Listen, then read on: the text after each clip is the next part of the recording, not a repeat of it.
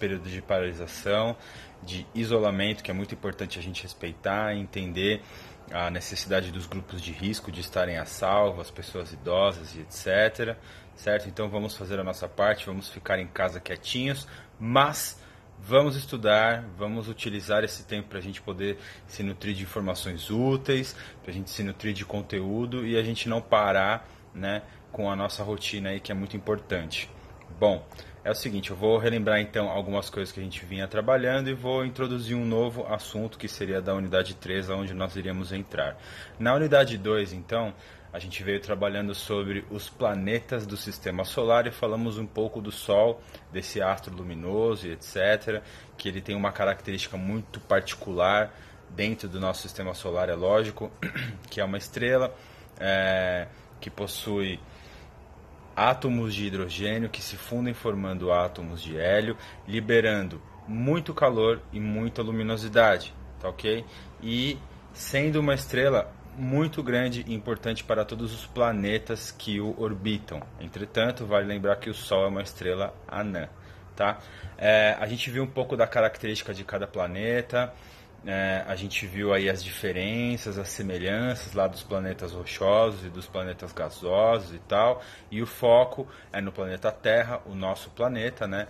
E é o planeta que existe vida, é um planeta onde existe essa peculiaridade, né?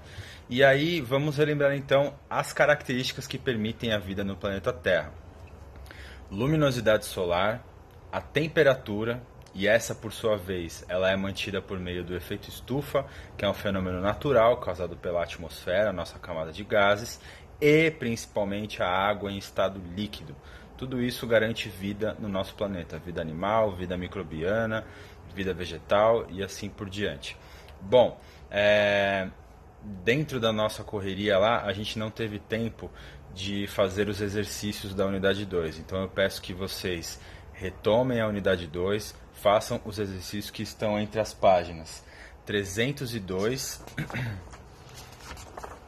até a página 306. Façam esses exercícios que são sobre os assuntos que nós já trabalhamos, tá ok? Quem precisar faz uma leitura, reinterpreta tudo. E agora, para a gente entrar na unidade 3, é, eu vou fazer uma abordagem breve, porque nos próximos vídeos, nos próximos vídeos nós vamos continuar trabalhando esse, esse conceito, tá? É, o tema da unidade 3 é Astronomia, Desenvolvimento Tecnológico e Exploração do Universo. Essa unidade ela vai falar basicamente sobre algumas características do planeta Terra e a discussão sobre a vida nela, em relação à possibilidade de existência de vida em outros locais do universo, em outros planetas, em outras estrelas, galáxias e etc e tal.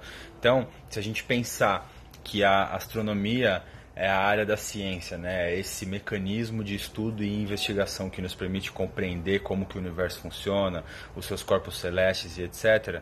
É, existe uma série de percepções em que a gente colheu através de estudos, através de imagens, de, de dados coletados, amostras, né? Que os nossos equipamentos astronômicos eles foram enviados para diferentes planetas, diferentes locais, satélites, etc é, existe alguns questionamentos. Tem uma área de estudo chamada astrobiologia, onde ela tem o foco, né? Ela prevê que deve existir alguma coisa em outros corpos celestes, já que a matéria ela é compartilhada entre esses diversos corpos celestes, que talvez permita a existência de vida.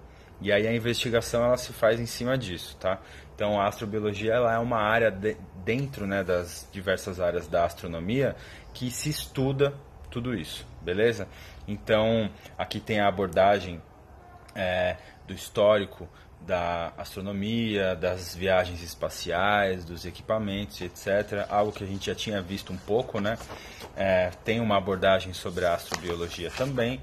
E aí, é, um dos grandes mistérios, né, uma das grandes pistas, melhor dizendo, é que algumas amostras coletadas de diferentes locais da Lua é, permitiram os estudiosos, os cientistas, eles perceberem a existência de vestígios de água e água em estado líquido mesmo, seja por caminhos encontrados no solo e no subsolo lunar, além de algumas amostras minerais que têm a mesma composição que a água teria, beleza?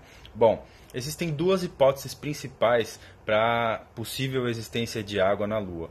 Uma delas é que após a formação da Lua, que na verdade foi o que? A colisão de um grande fragmento rochoso com a Terra, que deslocou parte do planeta Terra dele, né? De, fa fazendo com que a água existente no planeta ficasse na Lua, que por sua vez ficou orbitando lá em torno dele e até hoje temos ela aí maravilhosamente quase todas as noites da nossa vida. É, além disso, a outra hipótese é que a Lua ela foi bombardeada por diversos cometas, né? que são aqueles corpos que viajam no espaço e que, pela sua composição química, eles têm água congelada. Dessa forma, esse bombardeamento por cometas é, fez com que a Lua tivesse água em algum momento da sua existência. Existe muita investigação, exist, existem algumas hipóteses, né? mas até hoje a gente não sabe muito bem exatamente o que, que é, como foi e se tem de fato vida em algum outro lugar, é um mistério ainda. Bom, eu vou parando por aqui. Eu gostaria que vocês fizessem a leitura da página 308, os exercícios da página 309, bem como a leitura da página 310 e 311 do tópico Vida Extra